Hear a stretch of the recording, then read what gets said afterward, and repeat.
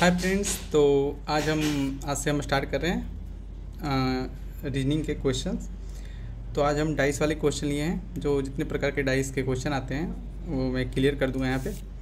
तो इसे, देखिए, इसमें जैसे कि बहुत सारे तरह के क्वेश्चन आते हैं, जिसमें मैंने कुछ खास क्वेश्चन लिए हैं, जिससे रिपीट होते रहते हैं. तो जैसे पहला क्वेश्चन ये देखते हैं, जैसे दो डाइस दिया गया है. आपको यहाँ लिखा हुआ है फाइंड अपोजिट ऑफ़ टू तो यहाँ पे है वन थ्री फाइव यहाँ पे सिक्स फोर टू। और आप देख रहे हैं कि कोई भी एक दूसरे से मैच नहीं कर रहा है नंबर इसमें से और नहीं इसमें से। तो ऐसे में क्या होता है कि जो क्यू डाइस की स्थिति है, वो ठीक उसके सामने वाला उसके अपोजिट हो जाता है डायरेक्शन में। डाइ डाइस जब आप लूडो खेलते हो देखते हैं, एक तरफ़ मान लीजिए एक है तो उसके सामने छः हो जाएगा तो इस तरह का। एक स्टैंडर्ड डाइस वही होता है जिसका आमने सामने जोड़कर सात आ जाता है, जैसे कि हम लोग जो लूडो खेलते हैं उसमें एक के सामने छः हो जाएगा, थ्री के सामने फोर हो जाएगा, चार तीन सात हो जाता है, पाँच दो सात हो जाता है तो इस तरह। तो इसमें हम लोग वो करेंगे कि एक के सामने जो हो जाएगा वो छः हो जाएगा। देख सकते हैं, तीन के सामने यहाँ चार हो जाएगा। तीन के अपोजिट चार हो गया और फिर यहाँ पाँच पाँच के अपोजिट दो हो गया। तो यहाँ पाँच के अपोजिट हम लोग दो लिख देंगे। ये आपका इस क्यूब का हल है। तो यहाँ पे find opposite of two two के अपोजिट क्या हो गया? फाइव हो गया।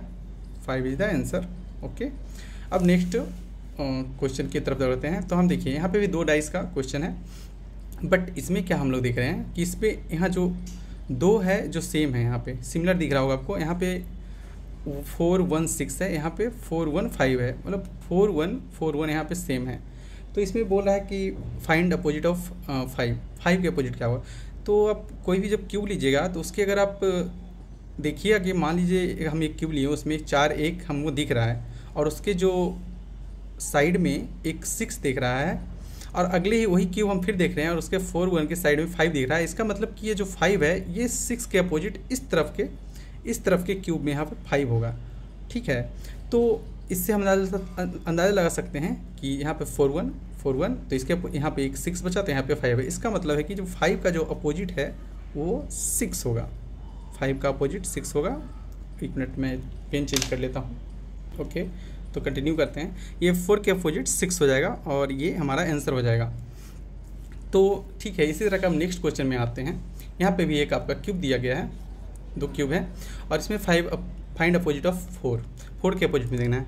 पर यहाँ गौर करने वाला बात ये है कि इसमें यहाँ है एक तीन छः, यहाँ है एक पाँच चार। इसमें आप देख रहे होंगे कि इसमें एक कॉमन है। हमने तीन क्वेश्चन अभी तक देख लिए पहले में था, कोई कॉमन नहीं है, दूसरे में दो कॉमन है। और तीसरा जो हम देख रहे हैं, उसमें मात्र एक कॉमन है वन यहाँ भी वन है बाकी सिक्स थ्री यहाँ फोर फाइव तो ऐसे में हमें बनाने का क्या तरीका है? हमें एक को यहाँ पकड़ना है, और यहाँ से क्लॉक वाइज हमें स्टार्ट करना है। तो यहाँ से हम क्लॉक वाइज स्टार्ट करते हैं। क्लॉक वाइज इस तरह चलता है। तो पहले आ गया सिक्स फ़र्स्ट नंबर पर और सेकेंड जब आया, यहाँ पर आ गया थ्री फिर यहाँ पे भी हम जब एक है, यहाँ से क्लॉक वाइज स्टार्ट करेंगे। तो पहले पे आ गया फोर और सेकेंड में आ गया फाइव तो यहाँ पे पहला सिक्स है और जो इसके अपोजिट में इसका पहला चला जाएगा फोर और जब यहाँ सेकेंड में थ्री है और यहाँ सेकेंड में फाइव है तो थ्री के अपोजिट चला जाएगा फाइव तो अगर आपको इसके इसमें बोलेगा फाइंड अपोजिट ऑफ़ फोर तो फोर के अपोजिट हो गया सिक्स ये आंसर हो जाएगा आप इसमें अब इसका अपोजिट तो आप खुद से खुद निकाल लीजिएगा कि वन का अपोजिट अगर पूछेगा तो क्या होगा? जब यहाँ सिक्स का फोर हो गया थ्री का फाइव हो गया तो उनका अपोजिट क्या बचेगा? सिर्फ़ दो बच गया। तो इस तरह से आप आ, निकाल सकते हैं। ओके अब कुछ क्वेश्चन और हैं हम इसे करते हैं और यहाँ देखते हैं कि क्वेश्चन यहाँ देख रहा है कि what is the example of standardise standardise का एग्ज़ाम्पल क्या है? तभी मैंने आपको बताया था। कि स्टैंडर्ड का एग्जांपल होता है, जैसे जो लूडो खोलते हैं, उसमें आपको दिख जाएगा कि जो भी सम को जोड़ने पे सेवन आ जाना चाहिए। वो स्टैंडर्ड स्टैंडर्डाइज होगा तो हमें चार तरह के डाइस इसमें हमें बताना है कि कौन सा स्टैंडर्ड स्टैंडर्डाइज है। तो स्टैंडर्ड स्टैंडर्डाइज में देखिए यहाँ पे चार और दो और एक यहाँ दिया हुआ है। यहाँ पे छः एक, दो, चार, एक, तीन, पाँच, दो, तीन। तो हमें कैसे पता लगेंगे तो हमें पता है कि अपोजिट जोड़ने पे सात आना चाहिए, लेकिन हमें इसमें अपोजिट भी कैसे पता चलेगा? तो अब तरीका है यहाँ पे कि मान लीजिए अगर छः है यहाँ पे हम सेकंड क्वेश्चन देख रहे हैं छः अब इसका अपोजिट क्या होना चाहिए कि ये स्टैंडर्ड डाइट में थ्री होना चाहिए सॉरी वन होना चाहिए, क्योंकि छः एक साथ हो जाएगा। तो यहाँ वन तो इसके साइड में दिख रहा है, इसका मतलब इसमें ये वन अपोजिट नहीं है, इसका मतलब ये गलत हो जाएगा। फ़र्स्ट में आते हैं, जैसे चार चार का अपोजिट थ्री तो इसमें थ्री नहीं दिख रहा है। इसका मतलब ये बन सकता है। इसमें दो देख लेते हैं, दो का अपोजिट पाँच पाँच भी नहीं है, एक का अपोजिट छः होना चाहिए छः भी नहीं। इसका मतलब ये स्टैंडर्ड स्टैंडर्डाइज होता है, क्योंकि इसके अपोजिट में जा सकता है, इसमें अपोजिट में छः जा सकता है, इसके अपने फाइव जा सकता है। और आप अभी अभी और चेक कर लेते हैं क्लियर हो जाएगा। जैसे कि यहाँ है चार। चार के अपोजिट के लिए हमें चाहिए थ्री थ्री तो यहाँ पे मौजूद है, इसलिए ये भी नहीं होगा।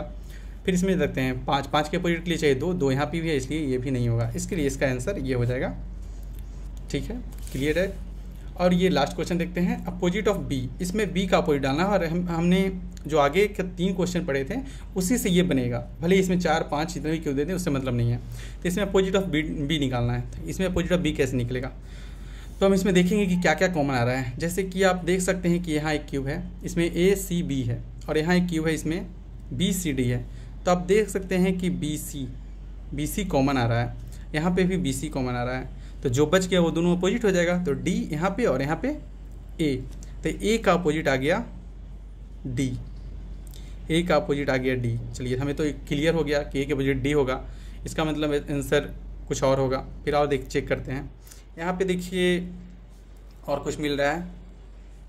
एफ़ बी डी यहाँ पे देखिए एफ़ बी डी मिल रहा है। और यहाँ पे बी सी डी में बी डी यहाँ भी है बी डी यहाँ भी है। तो एफ़ के बराबर हो जाएगा सी तो यहाँ एफ़ के बराबर हो जाएगा सी और हमें पूछा क्या गया है? बी का।